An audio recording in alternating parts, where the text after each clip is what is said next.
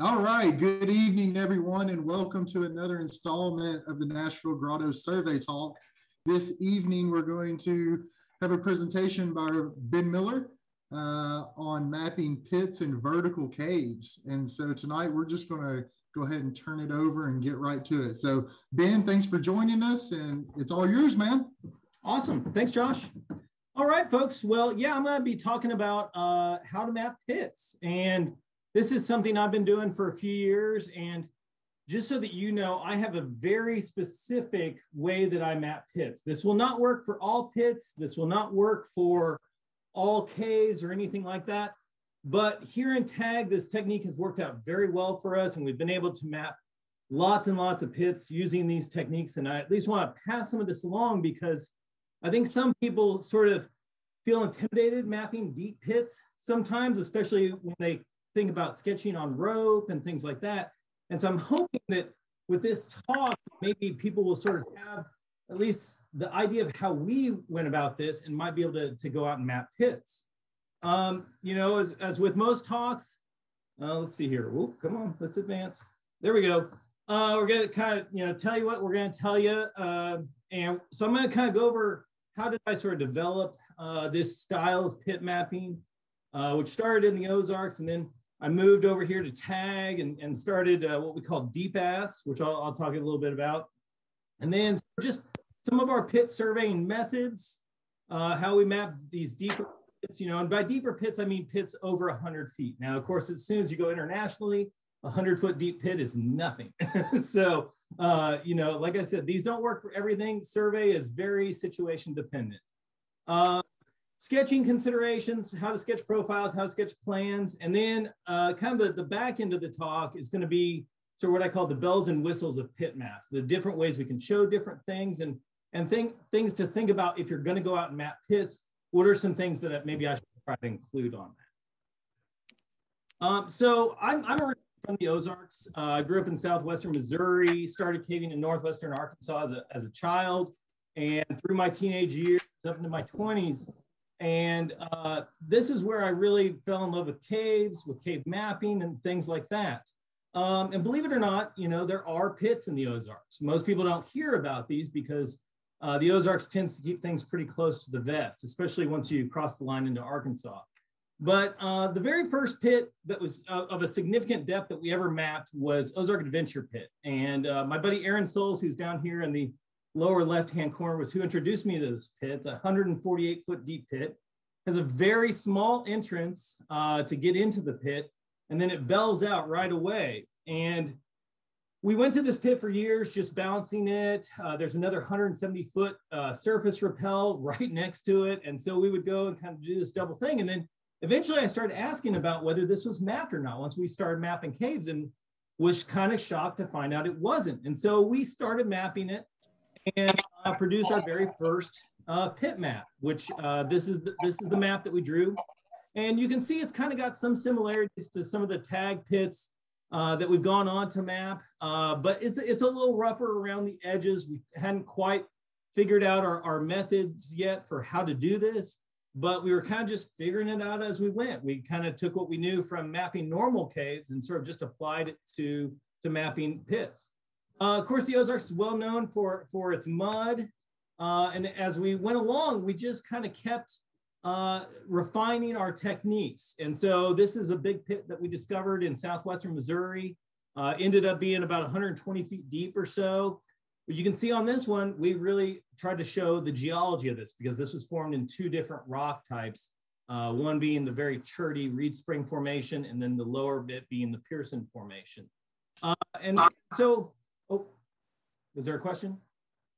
Oh.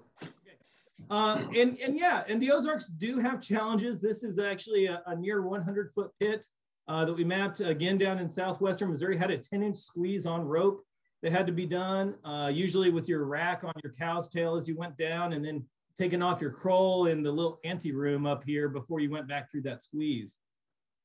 But then eventually I, I went to grad school in Kentucky and it was there that I started inquiring about some of these pits that we had done years earlier. Years earlier, uh, my buddy Bob Lurch, his son Andy, uh, Roger Brown, and I had done several trips over here to TAG to just bounce pits, see the big caves, just kind of experience TAG and get to do some rope work. And we're always just, you know, when we come over, you'd always just be thinking about like, what are all the other caves that are out there? And eventually, when I got over here, I started getting access to bits and pieces of that data. And one of these that I was shocked to find out about that was not mapped was Ferris Pit. Now, some of you who maybe have started caving recently may not be familiar with Ferris Pit, but Ferris Pit was, and I would say still is, a TAG classic. It was a 252 foot deep pit outside of Cookeville. Um, owner was extraordinarily friendly. Uh, you used to be able to drive almost all the way up to the pit. You could, in fact, rig off of your uh, axle on your on your uh, vehicle uh, to drop into the pit there. And we had found out that this was an unmapped pit. So just like Ozark Adventure Pit, we are like, wow, we should just go do uh, one of these. And so we went down there armed with sort of our techniques. And uh, we had Mike Costello and Cody Mundy and Leanne Bledsoe. And then Clint Barber's taking the photo. I think I'm either down in the pit or getting ready to get down in the pit here. And this was the map that we produced. And um, again, you can see, you know, we're sort of starting to merge some of this, starting to show a little bit more of the geology up here because this is a Hartselle Monteagle cave. And so about the first 20 feet or so is actually in sandstone before you break into the Monteagle limestone. And then you have this nice, beautiful big pit. Um, and we also started experimenting with, with what I call the plan views, which is what these are on the side. Some people might consider these sort of cross sections of the pit if you were to slice the pit kind of looking down the pit kind of thing. Uh, but they actually end up being plan views because they are bird's eye views. But this was the first of many that we would go on to map. And so basically at that point, I was not a TCS member yet. So I would just email Gerald Moni and say, what are some more big pits or deep pits in the Cookeville area that don't have maps that we have access to or uh, that we know the owner on or things like this, which actually worked out in a lot of ways because these were big pits that people wanted to go bounce. Uh, people knew who the owner was, where you parked, all that kind of stuff. So it made it really easy. Additionally, because these were sort of TAG classics, we weren't really stepping on anybody's toes in terms of we weren't taking over somebody's project or something like that. And so through this, we formed a group that, that we called DPAS. And this was a little bit of a tongue-in-cheek thing because uh, TAG loves acronyms. Uh, there's been these over the years. There was the ACEs, there was the Spades, there's all these different ones. And so we sort of tongue-in-cheek called ourselves DPAS, which was Deep Squad, uh, or, or, really more likely the uh, Deadly Projectile Avoidance Squad. Um, and our, really our goal was really just to map as many of the unsurveyed deep pits in the state as possible and maybe dip our toe into Alabama or Georgia if we had time and we could get access to data. Um, but this is what we did for, for about five to six years nonstop, almost three weekends a month or something like that. And so today we've surveyed approximately 86 pits that are over 100 feet deep. I say approximately, I tried to go through this the other night because I had not updated the number since 2014. And so as far as I can tell, that's it. But we've mapped a lot of caves and mapped a lot of other, other pits along the way. And, and gone into other states around the area. So, but this was kind of uh, our group. Uh, this is a this is a group of all of the uh, uh, participants that I could think of. If your name is missing from here, I apologize. Uh, but this was again, this was an old list that I kind of tried to add names to that I could think of who had helped us since I had initially created this list. But you can see there's a lot of people from a lot of different grottos. So this was not just Ben Miller goes and maps the pits. This was a group effort. This is a we that, that, that did this.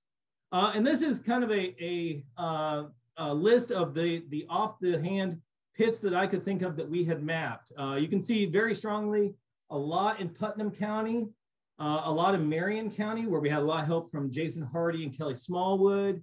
And then we've gone into a whole bunch of other counties and even gone in, down into Alabama and done a number of, of caves and even mapped two, two pits and, and cave systems down in Georgia. And so uh, we really got kind of obsessed with this for a while and, and, and just, uh, just were having a blast with it. So kind of moving on to how did we do all this? Um, this is the gear and, and cavers love gear. We love to talk about gear. This is my only gear slide really. Uh, but this will just kind of give you an idea. The, the key to, to uh, how we did this is you can see those tapes there. And for those of you that are disto surveyors, you're going, what in the hell are those? Well, those are the backbone of our survey. uh, because if you use a disto, you have no frame of reference while you're hanging on rope for where your drop shot was and for how far you are up off the ground uh, or how far you are below the surface. You have to keep distoing and hoping that you're hitting your, your survey station. And when you're 112 feet on rope up a pit, it can be really hard to see that little cairn of rocks that you did for the initial drop shot. So our big tapes are the backbone of how we survey these pits. And that's why I say this technique is very specific to open air pits, deep pits, things like this. It does not work well in all situations. If you're surveying big, booming virgin cave that's dropping down lots of pits, you're going to have to do it a different way. Uh, but this is just to kind of show you what we used. Uh, the other thing that's that's very key is the survey purse or survey pouch, uh, a foldable clipboard, uh, and then station marking uh, stuff because a lot of times uh, I'm on rope climbing back up after the survey's been done at the top and down at the bottom, and I have to know exactly where that station is because frequently I'm surveying from the edge all the way up in that last little bit by myself. Uh, but the tapes are really the key, and, and having these little prusiks on them helps out quite a bit. So how do we do this? What, what was sort of the deep ass way? Um, the, the main thing was mapping from the bottom up if at all possible. And this was something that we learned after doing a bunch of these, because what would happen is we would send somebody down the pit with the dumb end of the tape, and we'd end up in a screaming match about what was going on down there or why there wasn't a direct drop shot, that there was a ledge in the way or that there was something here or we were going to have to put the station over here. And it became very, very frustrating. And so, in sort of an, an era of this, we just all went down to the bottom of the pit so we could all see what was going on and decide we would just do the do the uh, the drop shot at the end or or hang it and do the figure out the rest from there. And so this has been something that has worked out extraordinarily well. And so we hang this big tape down the pit before everybody goes down, if it's at all possible. Sometimes it's not. Uh, and and again, this this allows everybody to see what the obstacles are and what does the layout of the pit really look like. Because a lot of times, none of us had been to the pits before, and so we were walking up and just trying to map it right away. Now again, if you're surveying down a multi-drop system or particularly deep caves or, or, or things like this, for me, surveying rebelay to rebelay has always worked well in those kind of situations. When I went to Slovenia, we had a deep cave that we discovered while we were over there, and we were mapping big pits and and and you know dropping hundreds of meters of depth in a day. Uh, and of course, I couldn't stop everybody and hang a big tape and do my whole technique. And so we we started mapping rebelay to rebelay. The thing I would just say is keep the shots short uh, so that something does not become unmanageable. It really does not help the survey or anybody to have a larger shot. Keep them short. Um, like I said, hang a long fiberglass top or tape from the top going down the pit and tie that off in place. This is really key so that it's, it's attached to where your station was at the top of the pit. And it also gives you a running scale bar down the entire length of that pit so that when you're sketching and you're climbing back up and you're sketching that, you know, hey, I'm 20 feet off the floor right now. And you also have that dot that you can use to tie all of your plan views together. We'll get into that here in just a little bit. Um, tie all of the survey in the cave into that drop shot. Usually, again, we're surveying the bottom first, so we tie all that in, go to the top. I would tie it into a safe spot. Rest of the team would come up and we'd survey out of the cave if it was if it was a pit that was inside of a cave. Um, and so like here's here's us uh, surveying at Balcony Sinks a couple months ago, and Kyle Lassiter right there is doing the job of tying off the tape. And so he's in this case he could see all the way down the, the open air pit to where he wanted to do that shot. So he was able to lower that down, get it in place, and then tie that tape off so that it was exactly where it was going to hang and it was out of the way of the rope, uh, but was it within arm's reach uh, for, for any disto work that I was going to need to do. So if you're descending a pit when we're mapping, this is what it looks like a lot of times is you kind of have your, your tape going alongside the rope and your rope just kind of a few feet off to the side there. Uh, you do have to be kind of careful that you don't spin around and let your feet grab it and twist it all around the tape or twist it all around the rope, uh, you can create a real, real snag that way. But um, this has worked well for us in lots and lots and lots of different situations. Uh, another thing that I'm going to touch on just briefly uh, that, that could be an entire survey talk in and of itself is establishing a zero datum for the pit.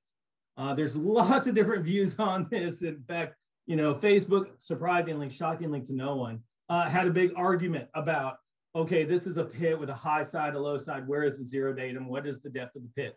You can argue till you're blue in the face. Gerald Moni would love to discuss this with anybody. Um, I prefer to do the low side or the low saddle of the open air pit if it's a high side, low side situation.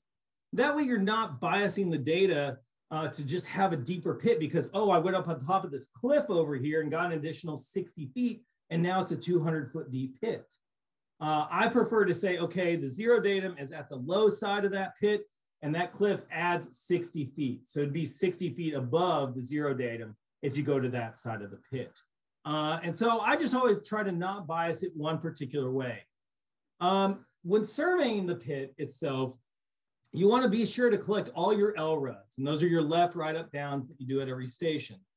Particularly important is the down distances, because this is what you're going to use later on when you're drafting the map to actually calculate that depth of that floor below the entrance. If you don't have that, all you have is the elevation of your station, and you don't know if that was eight feet up off the floor, if that was hanging over the edge of a 50 foot pit, if it, you know, what was the situation of where that station was. So your down distances when you're pit surveying are particularly important because that also may be where you find your deepest point because sometimes you, you'll get to a place where, okay, it could be one of these six stations is our deepest point. And that's where you need to then go look at your LRUD data and see, okay, well, station A3A had the, the largest down and so that now becomes the deepest point in cave, in case somebody didn't actually do a shot down to the lowest point in the cave system, if that makes sense. Um, the other thing I want to stress is surface and entrance detail is important too. Caves are not islands. Uh, frequently, geographic context can be important. Uh, if you're at a cave system that has a big spring that's discharging, like balcony sink, that's discharging and falling into the pit, you don't want to just draw the opening of the pit and that just be the only thing that you show of the area around the pit. You want to show, hey, that comes out of a spring, cascades downhill, and then goes into the pit. As well as you may want to show, hey, that spring comes out of the base of the Pennington Formation or whatever the case might be. That's important contextual information you want to try to convey. So I, you know, Scott House taught me this years ago when I was starting to survey caves was don't stop the map. If you're it's a horizontal cave, don't stop the map at the drip line. Show a little bit of what's going on outside of that. Is it on a big steep embankment? Is it on the side of a cliff? Same with pit maps. Try to show the sinks. Try to show whatever may be going on. You know, uh, large breakdown, the outer edge of the biggest sink, or whatever the case might be. Uh, if you do do this, if you do draw entrance detailed, one important thing is on the final map is to be able to clearly label the true opening of the pit. Uh, because that can be lost sometimes especially if you have like a big compound sink where within that big sinkhole, you might have multiple different smaller sinks. You want to be sure that you clearly label this as the 192 foot pit.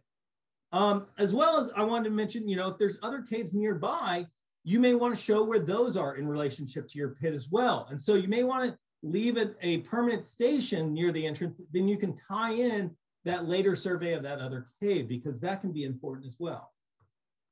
Okay, moving on to sketching on rope. Um, so general sketching considerations when you're in a pit. Again, if it's possible, sketch from the bottom going up. This is much safer than trying to sketch while you're rappelling. When you're rappelling, you're gonna end up having to tie off and then, you know, get an ascender on there, and then you're gonna be sketching. Whereas if you sketch as you're just going up, all you have to do is stop climbing and sit back and draw. And so I totally prefer to sketch from the bottom going up, which is something that's that's unusual to a lot of people because I think they think we survey into the cave. Well, on these pits, a lot of times it may be a single day or just a couple days. So take that time and survey from the bottom up. Um, hang the tape, you know, as we talked about. Uh, when you're sketching in a pit, your best friends are gonna be a survey pouch, big survey paper, a foldable clipboard, and a distance measuring device that's a laser. Now, it doesn't have to be a Disto X. If you got a Disto X, fantastic. but we've made cheapo Bosch ones work. We've made dumb distos work. We've made all that work, but you're going to need something to be able to accurately survey from that tape to the walls to be able to show the true detail of the pit. When, if you look at old pit maps, a lot of them you'll see are just these like silos going down, just straight walls down into the pit, down to some, you know, feature at the bottom. No pit looks like that. Even the most silo-like pits like Greenswell in Alabama is not a straight silo. There is detail there. There are, there are alcoves, there are ledges, there are things like this that you want to be able to accurately depict just as if you were in a horizontal cave. You wouldn't ignore them if they were in a horizontal cave. Therefore, they should not be ignored when you're sketching a, a big pit. Now, uh, some sketchers I know prefer tethers. They like to tether their pencil, they tether their, their protractor, they tether the clipboard. For me, that can get really uh, clustery uh, or complicated.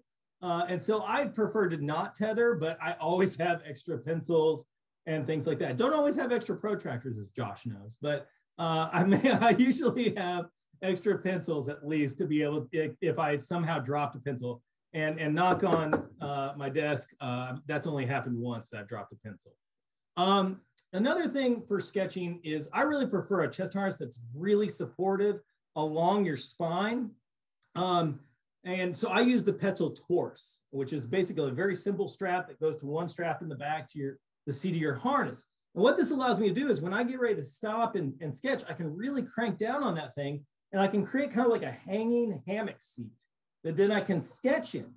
And thus, I'm not trying to hold myself up to the rope. I'm not trying to like, I, I, I feel much more secure. And then I can just sketch above my seat or my chest harness and my Croll, uh, whatever detail I need to. I can get stuff out of my survey pouch at that point or whatever. So that's something to consider. You know, I've also got an AV chest harness that doesn't have a connecting strap down to the to the seat harness in the back. I've tried sketching with that, but it was much, much more difficult. If you're somebody who does a bungee up and over to a Croll, you're not going to like sketching on rope. And so my, my suggestion to you is if you're going to be mapping deep pits, is to get yourself a, a comfortable, supportive chest harness. And you don't have to break the bank. I think the Petzl Torse is one of the most affordable uh, chest harnesses out there. It's essentially a, a piece of webbing with a couple of uh, buckles added to it. Uh, and probably the most important thing is take your time. Uh, there is no rush in doing this. Survey with patient friends, uh, you know, because they're going to be waiting while you sketch the pit. There's no reason for you to rush this or anything like that. And you don't want to get back home and then be upset about something that you didn't get clearly done. In surveys where I've had to rush, uh, frequently we've had to return for a survey flub or something that occurred because we were trying to get done fast. And so take your time. It's okay to have to do multiple survey trips to, to a cave to be able to get the final map done.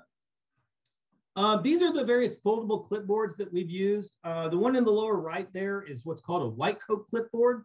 Uh, these are made for doctors so they can fold them up and put them in their lab coats uh, and walk around. So they have all sorts of weird medical uh, graphs and charts on them but they're super useful. I now use the one in the upper left-hand corner, which is just a uh, aluminum one that kind of has a, a, a little um, container or, or, whatever in the back that you can put other survey pages in. And that's what I use. And I just fold my survey paper in half.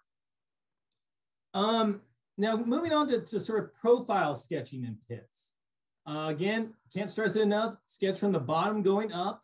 Uh, the other thing that this allows you to do is when you have that tape hanging, you have the dumb end of the tape hanging at the bottom of the pit. So as you climb and you get up to 25 or 40, you know, okay, I've climbed 25 to 40 feet, and you can just go up your shot that you've drawn on the page from there, and then you disto to those four walls. And so you just, because most pits are going to be formed along a fracture of some sort. And so a lot of times when we're drawing our profiles, We'll do a profile along that main fracture and then we'll cut it perpendicularly. So if this is our pit, we're gonna cut it like this and we're gonna cut it like this. Does that make sense? Good, yeah? Nods, yes, thumbs up, okay. Um, uh, like I said, you know, stop at various intervals. 20 feet is what I usually do for shorter pits, 50 feet deep for ones that are closer to 300 feet deep, though you can adjust for whatever the complexity is or for what you're going to feel comfortable with. You know, if you're just starting out sketching a pit, stop more frequently. Nobody is going to criticize you for stopping every 15 feet instead. But stop at whatever is going to allow you to capture the data at that point and interpolate that data to your previous location that you were at. Um, we're going to shoot our disto to all four walls. Um, now, I will say one thing that we found when we were mapping uh, in balcony sinks was we went there on a very sunny day, and it was also right after a big storm event the next day. So the mist was so high in the pit that we couldn't shoot past the waterfall, and the sunlight was so bright we could not see the disto 125 feet across the pit. And so this is something to consider uh, if you're if you're a, a laser-based surveyor is that if you're in bright sunlight, if you get over about 50 feet, it's very hard to see that laser dot. And so we're going to go back to balcony sinks to finish up the one side of the profile we couldn't get with the with the waterfall, and we're going to do that at nighttime because it will be much easier to be able to see and shoot across and get that detail. Hey Ben. Yes. When uh when you're drawing, do you when you're going up the rope, are you drawing all three views? Or are you drawing your plan views and your uh, profile views on the same trip? Yes, I am. I am. And, and so, you know, a lot of times, and I'm going to, the next slide or next couple slides, we'll talk about plan views. But yes, I do it all at that. And my plan views that I do where I'm slicing the pit, you know, if this is the shaft of the pit, you know, where I'm slicing it like this, um, I usually do those at whatever station I might be at where I'm stopping anyways to, to sketch detail. So if I'm stopping every 50 feet, I'm probably going to do a plan view at 50, 100, 150, and then let's say the entrance or something like that. So, Ben, when you're saying station, does that mean like say you're doing every 50 feet? So you do a station is zero and then you go up to 50 and then that's going to be your next station. It's just right there on the rope or, or on the tape, I mean, at 50. Yeah. So, so, well, that's from there. Yeah, so that's a good question. So really what I would consider, and, and you can you can break this up a few different ways. So we've got our station that's at the bottom, and we've got our station that's at the top of the pit, and we've dropped that tape between the two, right?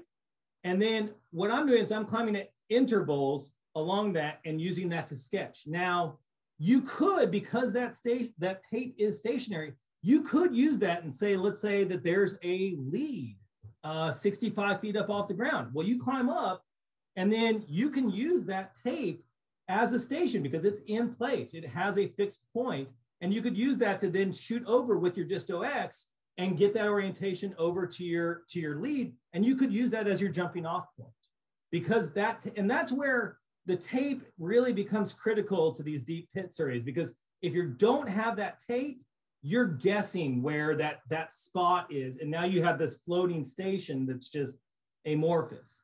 And so yes you can do that. I would not say that I would each time I stop that I would consider that a new uh, station. Like I'm not in my book going to go zero to 50 is 90 degrees. I'm going to have that one big shot that's like, let's say it's 175 feet and negative 90. And then I'll have my shot drawn on my page and I'll mark off my intervals, you know, 20, 40, 60, 80, whatever. And then when I get up to, to whatever spot I'm going to stop at, I just use that and I've already labeled my intervals and that just helps me kind of do it. So it it sort of is a, a, station and you could use it as a station, but when I'm sketching at these intervals, I don't necessarily depict it that way in the data for the survey. Does that make sense? Okay. Um, so as you climb, you know, basically you want to stop and note any features of interest. So this could be geologic contacts, it could be leads, big speleothems that are hanging on the sides of the of the, the pit, anything that's like that that's going to help you depict what that pit actually looks like. Don't just draw the walls. The, the cave is not just walls. There's other stuff there. Again, take your time, uh, especially on your profiles. The profiles are usually going to be the most compelling part of your map. And you don't want to feel like, man, I wish I'd spent 20 more minutes on rope actually getting that than than you know trying to get get done real fast. Um, so moving on to sort of the plan view sketching in pits. Now, I have when I first started doing this this work, uh, somebody asked me, well, like, what is there even to map in pits? It does, like Ferris Pit doesn't even do anything. You know, what's there to map? Well, there's a giant room at the bottom that's like 35 to 40 feet tall, and it goes about 100 feet or so. So, you know, even the most blind pit, like even if it just goes down to a room that's eight feet across, that still deserves a survey, a shot across it, or something like that. Um, and you should still draw the detail down. Uh, and so, you know, your plan views are gonna are gonna rely on the the same symbology that you've learned with mapping horizontal caves. Breakdown's gonna look the same. Speleothems, floor ledges, ceiling ledges, all that kind of stuff is gonna be the exact same thing. You know, when you're drawing your plan views. Uh, now, your base of the pit detail and your entrance area detail, again, are tied together from that big drop shot. So you can separate those on the page and not have to try to draw them on top of each other. I would very much suggest separating those. Don't overly complicate it. You can always piece that stuff together in the drafting part of, of the, the, um, the process, as it were. Um, so again, additional plan views can and should be drawn while sketching the profiles on rope. Uh, some people think of these as cross sections, but this allows drawing the detail in plan view that's on the walls of the pit. And that can be, like we said, leads, speleothems, major ledges, things along these lines. Um, and the plan views should also show the location of that 90 degree shot. So what I'll do when I'm drawing a plan view is I will start out with that dot that is that drop shot. And then I can disto off of that if I've got disto X, and I can draw those actual shots on my page to try to, to flesh out like, okay, this wall sticks out more over here, or there's this dome over here.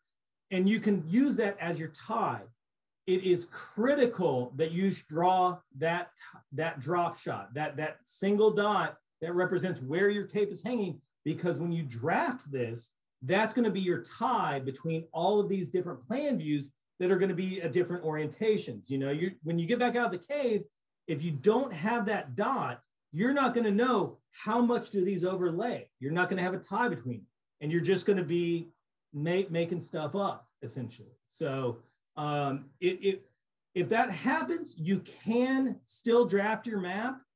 The problem is going to be is that you're going to have to just show them in, in relative space. You're not going to be able to show them necessarily in relation to one another and not show how the, the walls of the pit change as it goes down. Does that make sense? So, so draw that tape. Again, I know most people hate tapes these, this day and age, but they are critical for this stuff. Um, and uh, the other thing that I will say that's very important that can sometimes be lost is as you draw that plan view, if you're drawing that and you're 50 feet up off the floor and now you're 90 feet up off the floor drawing one and now you're 135 feet up off the floor drawing, write that next to the plan view. You know, even if you just say at 50 or at 85, because when you get outside the cave, it may look all the same. And you may be going, uh crap, you know, like I like again, you're gonna be you're gonna be forced to to reckon with what you didn't collect on rope kind of thing. So does all that make sense to folks? And I'm going to show some examples now, but but everything making sense? Okay. So this is kind of what it looks like.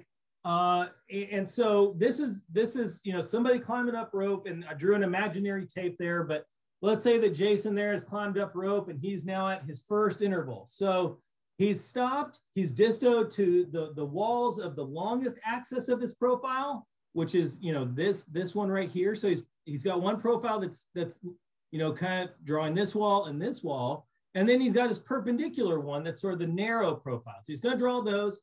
He's going to get out his clipboard. He's going to make those ticks. He's going to draw that intervening uh, bit of, of the the profile up and anything that he's seeing on the walls.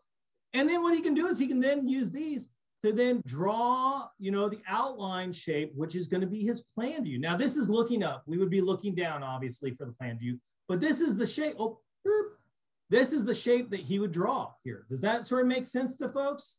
Yeah. I've, so if, if you're just kind of using your L rods to the shape of the cave and, and not orienting them to a specific azimuth, how do you keep that consistent from shot to shot? That's a good question. And so if you've got a disto X, you can you can a lot of times what we have found is that there's not, there are pits that do it, but a lot of these caves will stay kind of along one axis going up a pit. So you usually will know like, okay, that's this. But this day and age, we have disto X's. So you can always use that and actually draw those shots if you've got the time. And you can say, okay, to, to this wall is, is, is this azimuth, and you can draw that on your plan view, and it's this to this wall. So you can draw it in true space. Um, there's nothing saying that you can't. And, and again, each pit's going to be different. If you're in a very round pit, you may want to make sure that you get those azimuths because you don't know that this wall is bubbling out a little bit more over here or something along those lines. So um, now I've also done this with a Suunto tandem and a dumb disto. So that can work. The only thing that I would say is be aware of the fact that sometimes you do have steel on your person, you know, your rack or something like that. So you just want to be high enough up that you're you're able to get away from any any sort of influence. So no, that's a great question. Uh, and you know, sometimes it's it's a simple pit where it's just along one joint and it basically stays that all the way up, but it's not always that that way. So you can absolutely use these as real shots if you need to. Um, so are some some notes from some pits to just kind of give you an idea of, of kind of what does this look like on the page. And so you can see here, you know, we went down to the bottom, we surveyed all of our plan view down here, and then you can see like on the profile, I've got my line plot for the, the base of the pit and for the plan view or for the uh, profile view. And then you can see our big shot up and you can see that we've marked off this 20, 40, 60, 80, 1, 120, 140, all the way up so that when I stop at a certain point, I know, okay, this is where it is. I don't have to, to get that out and measure it off or anything like that. And then you can see I've done various plan views. So you can see I kind of use the cross section symbol here. So I'm looking down the pit and then I've drawn it down here and I've drawn this plan view. And then there's my dot. That's my tie of my, of my tape there. And then I've also said plan at 50 feet off floor. Same thing here, plan at 100 feet off floor. And then here's the entrance detail at the very, very top. Um, the black is the is speleothems, and that's something that that I picked up from Missouri cavers.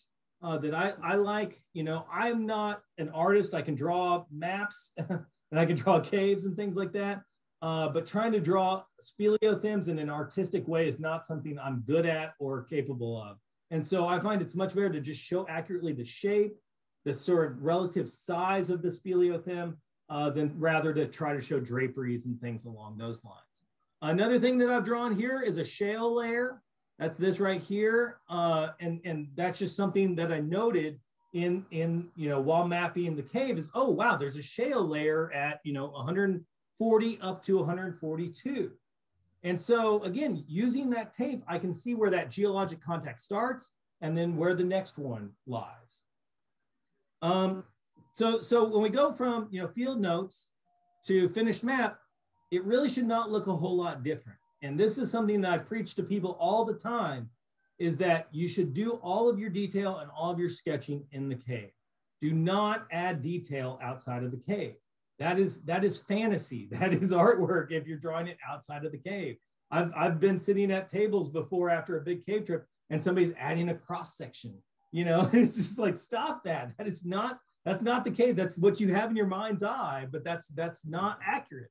So if you look at this, you'll see that that really there's nothing that's on my sketch or that's on the final map that's not on the sketch. They should be mirror images of one another. And you can see I've drafted that shale layer in up there at, at the top of the pit there. Uh, sort of another, another example. So like I said, I really prefer to have large paper, eight and a half by 11 paper, so that I can draw the entirety of the pit on the page. We used to use small paper, and small paper is fine. You can use it. You have to do a lot more labeling because what ends up happening is you have to end up chopping the pit up. And this can be a nightmare if you have a really wide pit that's wider than the survey page that you have. And so we take this and you actually end up having to reorient it into this. And so if you don't have it well labeled, you may put the wrong top on the wrong profile or things along those lines. So that's why I prefer to just have it all on one big piece of paper and it's nice and neat. And that's, that's a hard earned lesson. Um, this is so this again, this is this is what that chopped up looks like, and this is the final map. So again, you know, showing this. Uh, dripping domes is another thing. This is a dripping dome over here. You can see that we've got that also in the in the uh, sketch there as well. Um, this is another one. So this one you can see uh, we've got nice big profiles here. We've got our, our, our cross section line showing where we did our plan views. And then here we've got our base of pit. We've got 40 feet up the pit, at 80 feet up the pit, and then we've got our entrance detail down here. Uh, now, again, you know, they may not all be perfectly stacked on one another, but you're hanging on rope. So the main thing is just make yourself enough clear notes that you can decipher this when you get out of the cave. But uh, this is where taking your time is invaluable because you don't want to just be rushing and not have labeled a plan view and then you don't know where it fits. Uh, another another um, uh, pit, just again to kind of show that drawing that line plot on the profile is critical. You don't want to have a line plotless profile. You need to show where those stations are and where they are relative to one another in true space. Uh, one thing I will point out here is, is we've got a bolt right here and we've got two bolts down here. And so that's, that's another thing that we're wanting to show when we're, when we're drawing uh, uh, maps or sketching pits is where any sort of rigging is. And I'll show this kind of in the finished maps, but this is something you want to draw when you're, do, when you're doing this. I use little X's. So there's another one there, you know, down here, here's a traverse out to one and then down a big canyon kind of thing. So these are things just to consider when you're mapping is, is don't just go draw the silo of the pit and that's it. You, you want to, you really, you want to make a map that doesn't have to be redone at some point. We have plenty of bad maps out there uh, that we end up redoing or whatever. Don't, don't, don't make one this day and age. There's no reason to. Um, the other thing I want to mention is don't be afraid to break up complex areas into more digestible pieces. You don't have to map it all in one fell swoop. Um, do what you can handle. If you're getting overwhelmed, call it a day. This is massive well, and the colored boxes show individual trips that this was mapped on. The individual pieces of these awesome big profiles that we have were sketched on as many as four different trips. And then because we have those line plots, we could piece all that together for the final map. And so, you know, on one trip we went in, the second entrance and mapped this this area over here and you know josh did this section up here and i did this section here and then another trip we did this big hall and this little chunk here so it's okay to break that up you don't have to try to do this in one fell swoop. Again this this really just comes down to taking your time and doing it right. So so don't be afraid to to you know and and sometimes we go back to caves and we do cartography cleanup so we've drafted the map up and we are missing something or we don't have this particular thing and you can go back in. As long as you have your stations drawn uh, you can go back in and add add detail as you need to. You know we did that with some of these uh, these natural bridge complexes that are in in massive well. You know we didn't get those quite as well as we would have hoped. And so we went back in later and did that.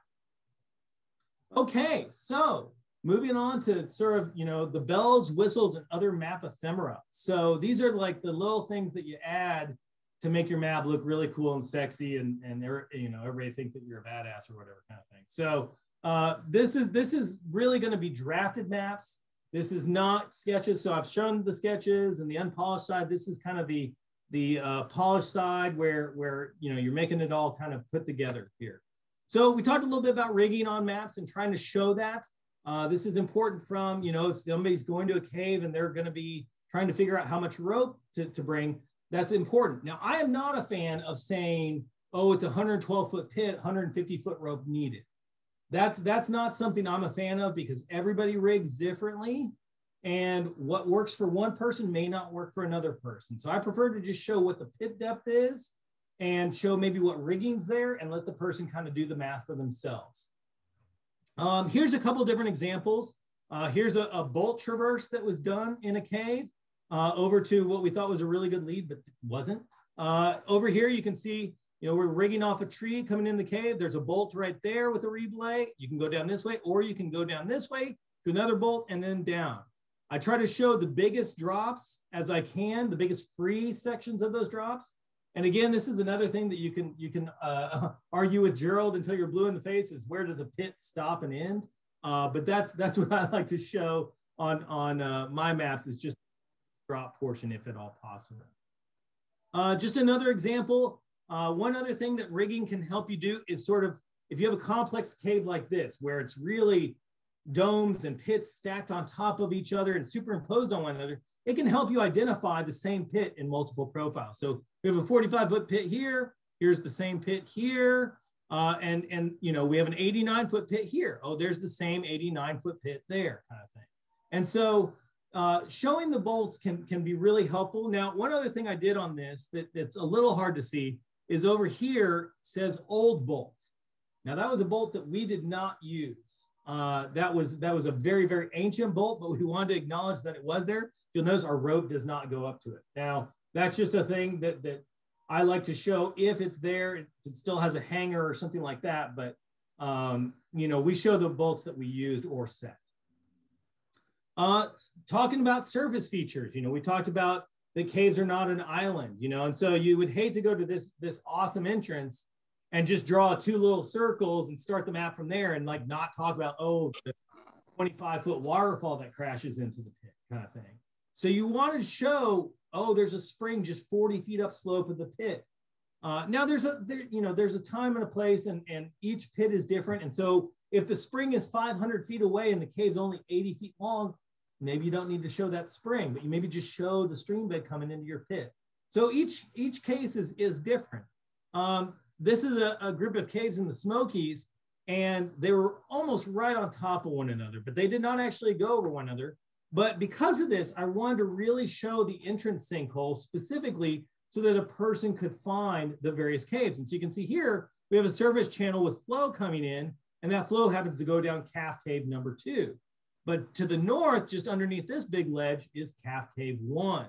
And then we're still showing where the walls for these various caves are and things like that. You can also add some nice, you know, big, there was a giant tree that had fallen in and, you know, the tree was like four or five feet in diameter. So it was a major feature in the sinkhole.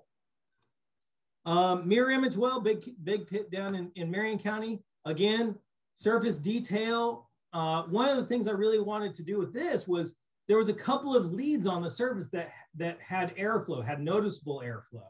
Uh, these were even talked about in the narrative and may even be designated as a different cave, I believe. But if you look uh, at, the, at the final map, that area of the sinkhole is not over any known part of the cave there. And so that's why it's important to show like, oh, even though it's, it's right there, and if you looked at just a plan view, you might think, oh, wow, that's right on top of the cave. Well, that part of the cave is, you know, 180 feet lower. So it, it may be a different part of the cave. It may be a different cave entirely. Uh, you can also see that there's a small stream here coming out from underneath this boulder and sinking into the sinkhole there. So things like this are, are important to show.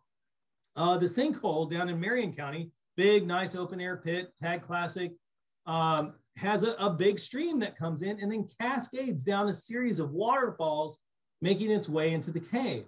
Well, I would totally be remiss if I just eliminated that river from from the map. And so we drew that up here. It also had like a spring house that was up there and a bunch of trees that had fallen over it. And so we drew all that coming into the into the pit there to kind of show what does the character of the cave really look like. Um, mapping geology in pits is also something I'm a, I'm a big fan of. And you have to be careful. You got you got to work with what knowledge that you have and, and can accurately depict. If you don't know the difference between sandstone and limestone, have somebody show you. Um, don't just be, you know, making inferences that you don't really have supporting evidence of. For instance, the Hartselle Monteagle is a very classic pit forming contact that we see here in TAG. There are hundreds of caves formed at the Hartselle Monteagle contact. But we may also want to show other minor units, uh, shales, shaly limestones, chert, cherty limestones, or sandstone lenses, things like this. Other things that could be helpful would be faults, tilted bedding, an obvious dip to the cave. Uh, you know, over in Cumberland County, we sometimes get caves that follow dip. Well, we would certainly want to try to show that if we can on the map, because that tells you something about how the cave formed that just a standalone profile is not going to show. So just some examples of this. Uh, the examples that I, I, I kind of brought for the first bit tonight, are these are from the Calf Killer Valley, which uh, you know there's thousands and thousands of caves over in that area, and uh, these are all up on one mountain. And you can see that we we have the sandstone, then a thin limestone, then a thick layer of shale, and all the pits start right below that shale. Uh, we we show this both in cross section view and on profile view, and we also show it on all of our little cross sections up here at the top of the pit. Um, and here it is in, in real live person. Now, if we go just a few hundred feet away, we come to France Mountain Pit.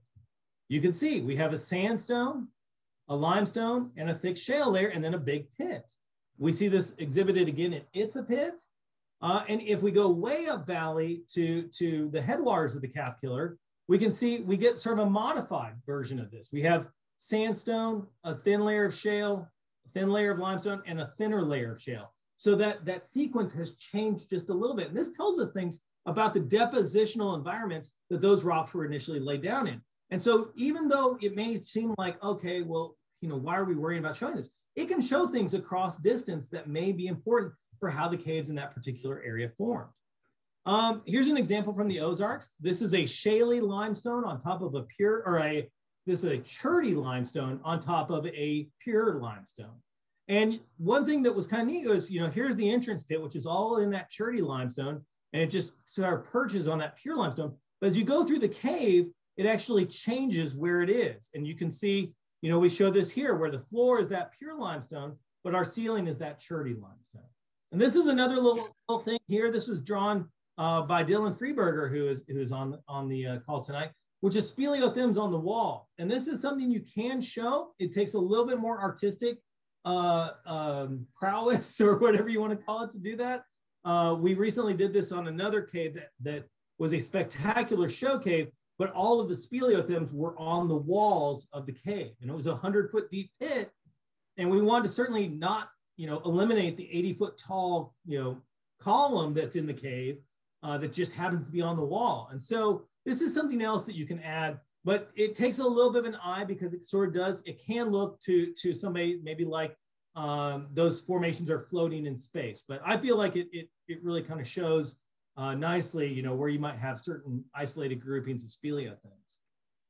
Uh, this is Greenswell. Uh, and one interesting thing about Greenswell is it starts at the Hartselle and goes down through the Monteagle, and then it perches on a series of chert layers that are down here at the lower end of the cave. And then the cave sumps as it's just gotten through that cherty limestone.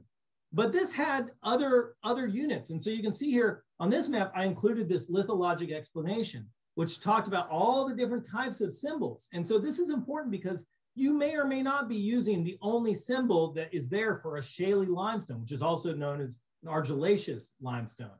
Uh, and so you want to maybe have a little box where you explain, here's what my geologic symbols mean. Um, another thing is depict, depicting multiple levels in pits. This is frequently something where we have a pit that goes down to something, turns a corner and goes right back underneath itself. Um, and so ways that I deal with this, and different people deal with this in different ways, is I use, I use grayed outlines of the, the various levels. So really this shows itself on the plan views. And so you can see here, we've got an upper level plan, a middle level plan, and a lower level plan. And so starting from the bottom up, we show where that lower level plan is in relationship to the middle level plan. And then I combine the walls from this level and this level, and I bring them over to the next level. And so if you look here, you can actually see there's that little uh, sort of tail sticking out there. And, and this allows you to show where things are in relationship to one another. If we didn't have this and we just tried to show this in one view, the deepest part of the pit would be obscured by the detail of, of the upper portions of the cave and you wouldn't even be able to see what's going on in the deepest part of the cave. Now, the other thing I've done on this map is, you know, I label this upper level, middle level, lower level. I also show on the profile view, where is the upper level, middle level, and lower level so that somebody can correlate these between one another. Here's another example. This is, uh, this is another Cumberland County pit. Uh, and so you notice as we go from bottom to top, that lower level wall gets more and more complex. But as we work our way down, now you just have this section that's underlined. You go down one more, now you just have this little section and so on and so forth. Again, first level, second level, third level, fourth level. Again, on the pit, first level, second level, third level, fourth level. I also label the pits. So this is a 68 foot pit, 47 foot pit. This is a 123. I label those as well on the, the plan views because I have been in vertical caves that had maps that were great looking maps, but didn't label where the pits were. And we spent two hours trying to find the damn top of the pit that led to the bottom of the cave, even though we had a map of the cave. Uh, so it's important to, to, to show things both on the plan view and the profile view. Again, Massive Whale, I'm going to zoom in here. Massive Whale really was a, a brain twister uh, or mind bender uh, for us because it had just everything. It was a really, really complex cave. And so like in this area, for instance, I had to do a solid gray line for my upper level, and I had to do a dashed gray line for my lower level. And so I offset my lower level to one side and offset my upper level to one side. Well, down in this area, this southwest area, we actually had a passage that started out as an upper level and then became a lower level in a maze area. And so that's where these different symbols can become important to you. And same thing here, where we kind of did a backwards version where we offset the upper level detail here from the pit because the bulk of the pit's detail was really in that lower level. So it made more sense for us to offset the upper detail. Again, every map is different. You're gonna have to do what works for you, but this is just some things that have worked for me uh, in trying to depict some of these, these pits here in TAG. And with that, I am done. And if there's any questions, I'll be happy to take any questions. Nice job, man. Yeah, thank you. Do we have any questions for Mr. Ben Miller? I know uh, Chris and I were asking during the presentation. It's all good. I'm happy to take any questions. I got one. Um, uh, I was wondering, you know, that your your like pit surveying technique uh, with the whole tape and really being really specific about it going down. Um, at what point do you think that that is like super necessary? Um, like i don't think i'm very good at surveying pits but you saw what we did in uh, in logston. And now looking at this i'm thinking that we didn't do it right. Um, so I, I, was just wondering what you thought about that. Yeah i mean it, and and each situation is unique. I mean like i said you know it's if if you're surveying you know if you were going into logston uh, you know, and you were exploring and it's a virgin cave, you know, you can't really make everybody stop and like, hold on, I'm going to hang a tape and now I'm going to go to the bottom, climb this 25 foot pit and things like that. For me, the, the breakover point is probably in like the, I don't know, 75 foot deep range. It's at whatever point do you feel like that, that you can accurately depict that. And so on a 75 foot pit, I would probably feel comfortable being halfway up and being able to say, okay, I can clearly see the bottom, I can draw up to here, and then I've got the top of the pit just 30 feet above me. So if, if you're really only like one interval of climbing, you know, that you would, at where you would stop, then I don't know that you have to do that. Uh, this has worked well in deep pits where, it, you know, and we started this, you know, started this technique in 2002 when distos were like something that really, you know, super fancy people brought that, you know, stayed in a pelican box basically and never came out. Um, and so we developed this then. And, and like I said, it doesn't work for every type of situation, but that's kind of my rule of thumb is like, if you get over sort of one interval, which, which for me is, you know, probably in the 20 to 30 foot range, uh, you know, so times double, you'd be, you know, looking in the 40 to 60, 70 foot, foot range. Then I would start thinking about it. If you find a 120 foot pit, I would try to do something along these lines. But again, you know, I, every situation is unique and you just got to do what's going to work for you in, in the cave that you're working working on. Any other questions?